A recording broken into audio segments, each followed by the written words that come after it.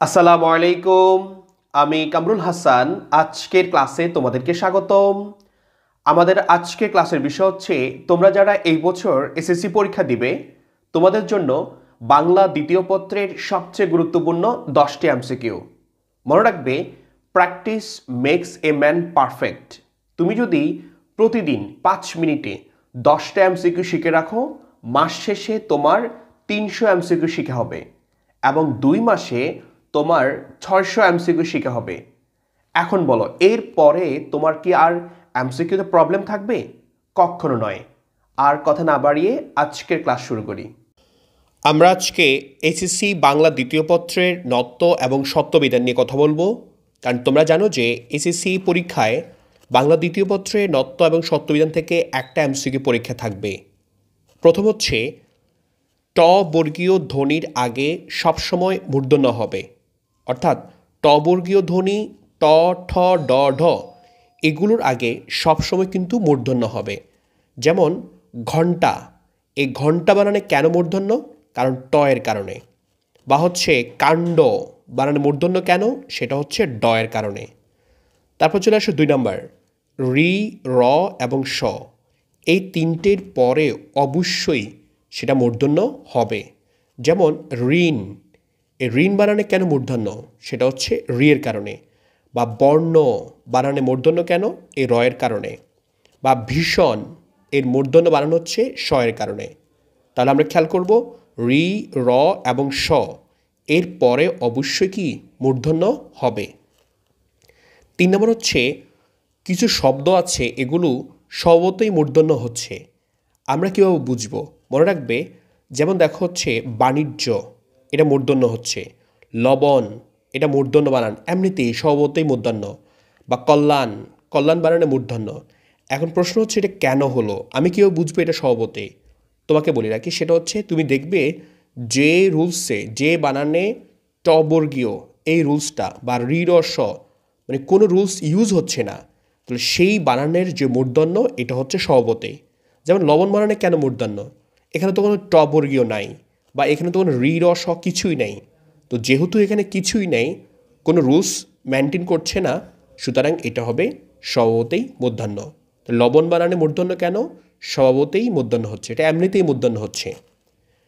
এবারে চলে আসো যে আমরা চার নম্বর রুলস যে কোথায় মূর্ধন্য হবে না, দন্তন্য হবে, সেটা হচ্ছে সমাসবদ্ধ শব্দে। সেটা মূর্ধন্য বিধানটা খাটবে না। যেমন সর্বনাম সর্বনাম শব্দের এখানে অবশ্যই কি দন্তন্য ইউজ হবে বা দুর্নীতি এখানে রেফ আছে তবু এখানে কি হবে?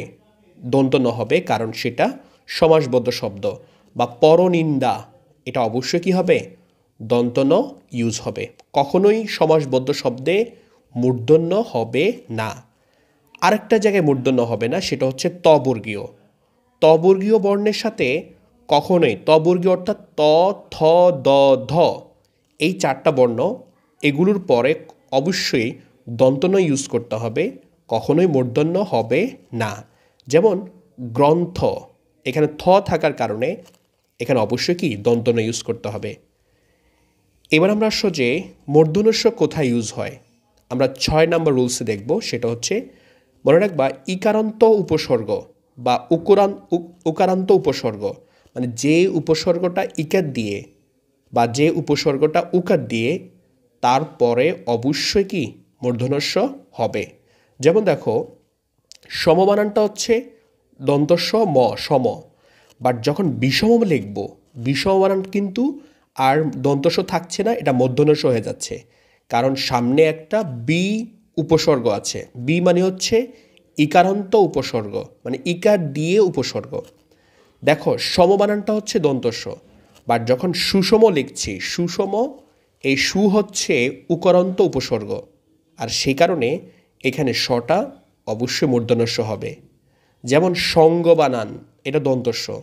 বাট যখন অনুসঙ্গ হবে, এই অনু থাকার কারণে এই শটা মূর্ধনস্য হয়ে যাচ্ছে।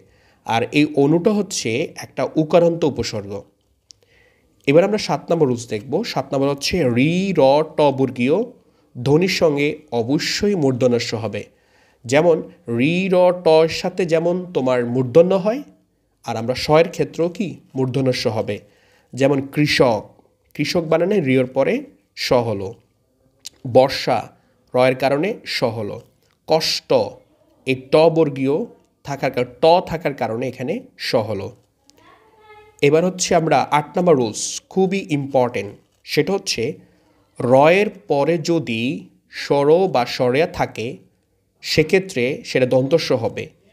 বাট রয়ের পরে যদি স্বর বা স্বরেয়া ছাড়া অন্য কোনো স্বরধ্বনি যেমন ইকার, উকার বা ওকার বা একার থাকে, সেক্ষেত্রে অবশ্যই কি মধ্যনস্য হবে। যেমন একটা সহজ উদাহরণ দিই, পরিষ্কার।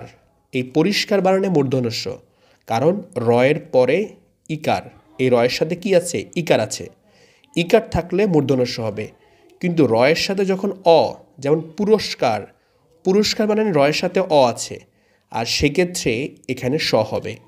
তাহলে রুলসটা হচ্ছে, রয়ের সাথে যদি স্বর বা স্বরেয়া থাকে, সেক্ষেত্রে দন্তস্ব হবে। আর রয়ের সাথে যদি স্বর বা স্বরেয়া ছাড়া অন্য যে কোনো স্বরধ্বনি থাকে, সেক্ষেত্রে অবশ্যই কী হবে? মূর্ধনস্য হবে। এবার আমরা নয় নম্বর রুলসটা দেখো, সেটা হচ্ছে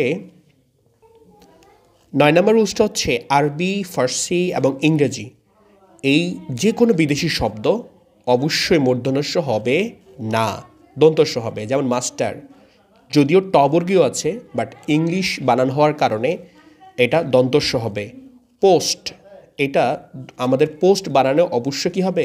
দন্তস্য হবে, কারণ এটা ইংরেজি শব্দ। তাহলে খেয়াল করবে যে বিদেশি শব্দ অর্থাৎ আরবি, ফার্সি এবং ইংরেজি, এই শব্দগুলো অবশ্যই কী হবে? মূর্ধনস্য হবে। মূর্ধনস্য হবে না দন্তস্য হবে। যেমন পোস্ট। তারপরে চলে আসো যে সংস্কৃত সাতপ্রত্যযুক্ত পদেও স মূর্ধনস্য হবে না। যেমন অগ্নিস্বাত অগ্নিস্বাত বানানো অলওয়েজ দন্তস্য হবে।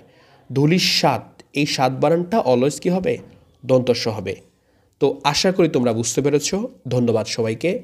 আসসালামু আলাইকুম ও রহমতুল্লাহ।